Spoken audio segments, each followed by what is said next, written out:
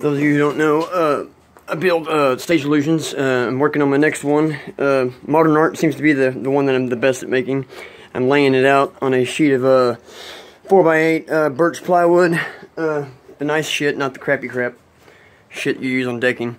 But yeah, uh, it's called this one. This illusion's called uh, Modern Art. It's one of my favorites, and uh, I'm really good at building it. I just got through selling one, and uh, it turns pretty fast, so I thought I would build another one. Anyway, this is the uh, the blueprint, and this is the layout, and hopefully in about three days it'll be finished. All right, peace.